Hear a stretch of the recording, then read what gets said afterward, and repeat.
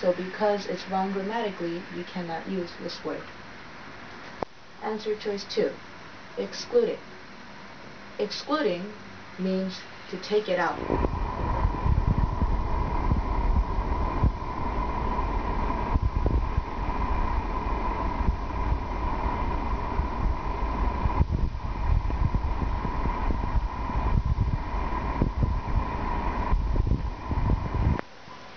Number three, not four.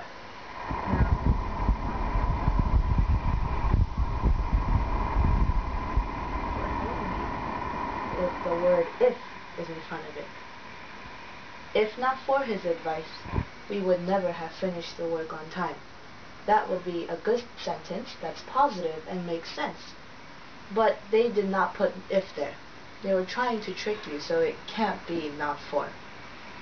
The last word, without. Without is the same thing as if not for. So now it says, without his advice, we would have never finished the work on time.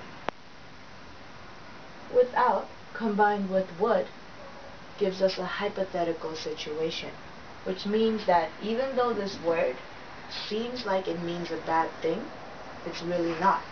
Because they're saying if not for his advice.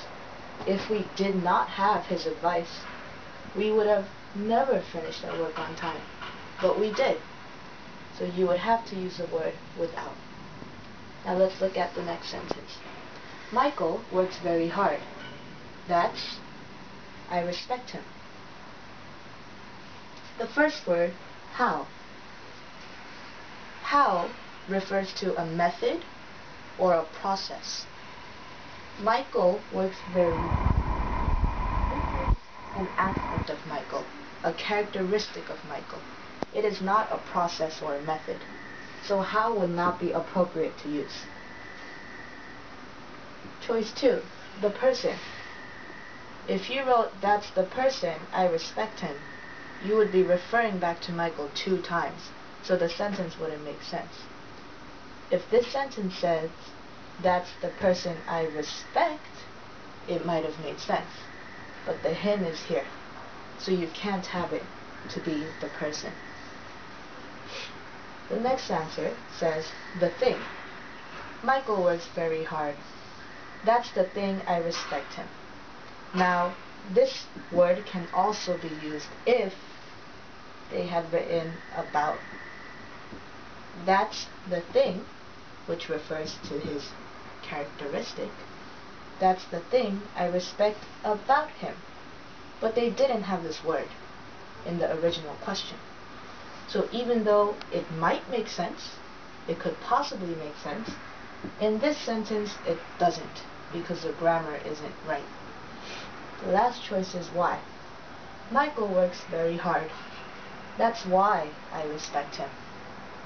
Why is the correct choice because the person says that the characteristic of Michael working very hard is the reason why he respects him. So you would have to use why. It can't be how, there's no method. It can't be the person, we already have him in the sentence. It can't be the thing, because we need this grammatical point in there. We need this word, but they didn't have it for us. So the only word you can use correctly is why. Thank you.